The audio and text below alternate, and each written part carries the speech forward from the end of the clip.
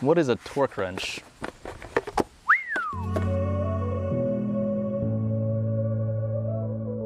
How's it going guys? It's Jake with Adventure GT. Today, we're installing wheel spacers. I'm gonna put them on the car, do a little unboxing for you guys, and hopefully get that perfect off-road stance.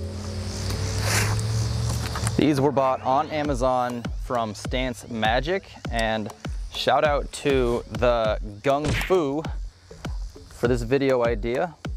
So there you go, bro. There's a little shout out for you. Little comment card. Happy with purchase. Light Instruction manual.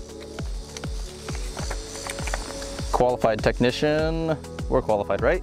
Now you guys might have seen too some really bad things that have happened from poorly installed wheel spacers. There we go. Uh, these come in silver or black and I opted for the black ones. And also you wanna make sure you get uh, hub-centric wheel spacers because we have vibration problems enough as is with a lifted vehicle. So you're gonna need that little lip in there to help seat the new onto the old hub, onto your wheels, to avoid getting uh, road vibration going on. So, all right, let's get to it. First things first.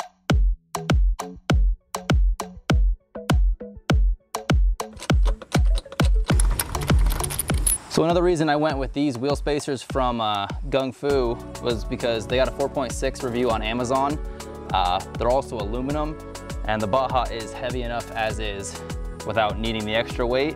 Um, but one of the things that some of the people were talking about uh, in the reviews were saying that the factory lug nuts uh, were too short once it was mounted on the hub, so they couldn't secure the rims. So that might be worth looking into. If you've got aftermarket lug nuts, then you're probably set. Um, I'm using uh, these locking lug nuts from Gorilla Automotive. They're super deep as is.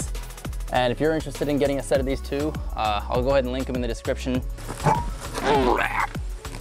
It is extremely important that you get this mounted exactly flush with your rotor.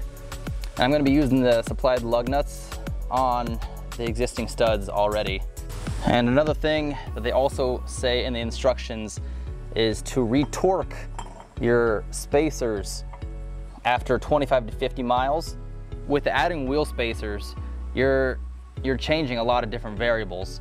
So this is one thing that I'm gonna extremely recommend that after 25 to 50 miles, you do go back and retorque your wheels because you're bolting your wheel to this spacer. Okay, so bolting the wheel to your rotor, you know it's all secured as is, but this is one thing where you don't want to play around. You don't need your wheels to fall off.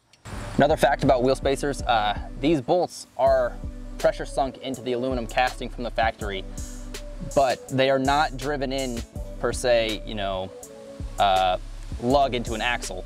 So by the time you torque your wheels off the first time and start driving around, uh, these studs could shift, change, or spin on you, changing them completely. To fully seat them, uh, you're gonna need to uh, yes, torque them down properly. Or you might have seen in George's lift kit video how we use two, two nuts to really uh, sink those studs into the, the spacer top hat. It's kind of the same thing with these. You have to use these lug nuts to, you have to sink them properly. Um, so there's not a whole lot of danger from using wheel spacers. The reason I am only going one inch or 25 millimeters of space is because you're putting a lot of extra stress on your wheel bearings. Uh, a lot of people have said they've gone a little bit bigger than an inch, but you start going bigger than this, you're gonna start wearing out your wheel bearings extremely fast. This 19 millimeter impact socket won't fit. Just giving you guys a slight heads up that some of your tools might not fit, but these are 19 millimeter, which is perfect because it says in the instructions not to use impact sockets or not to use an impact to put these on. They say go off with the manufacturers when torquing your wheel spacers. So uh, from the factory, Subaru says 70 to 80 foot-pounds on the lug nuts. So let's do that. Do a couple turns each one before we go in for the final torque settings. Twerked. There, she's all done, completely torqued on, completely seated. So now we're gonna put our tires on. These are the factory size tires, 225 60R 16. Uh, the off-road set is 215 65R 16.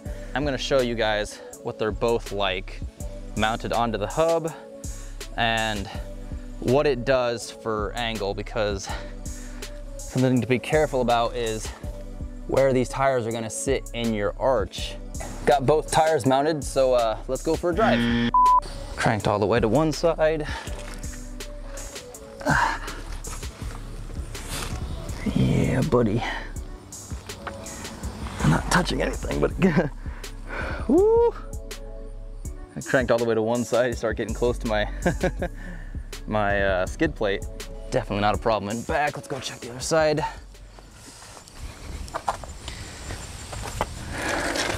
Ooh. Uh oh With my one size bigger tires.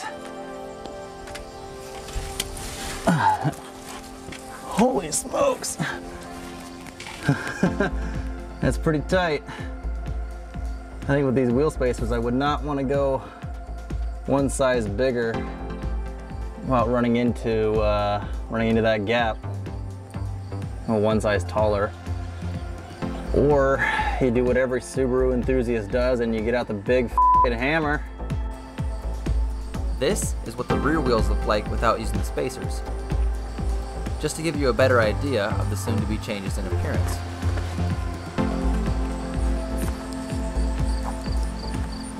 With that completed, I'm going to quickly install the rest of the spacers and make the change from fuel saver to off-road settings.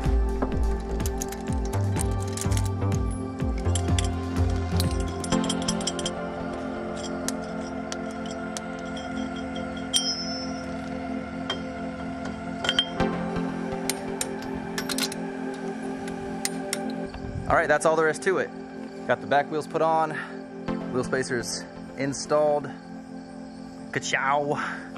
So now I'm gonna go for a little test drive and then drive 25 to 50 miles to work and back, or however far that is, retorque the wheels and get back to you guys and see how everything's doing.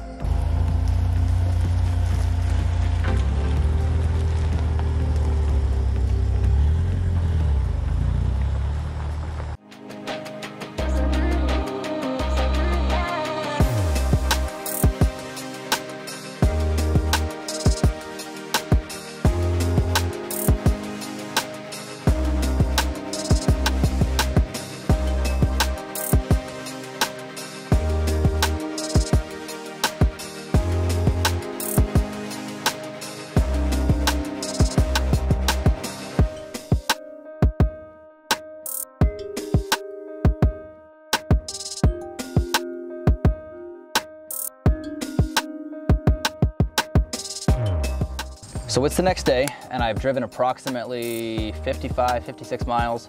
So I'm gonna go ahead and rip this tire off, retorque the wheel spacers, retorque the wheel, and uh, yeah.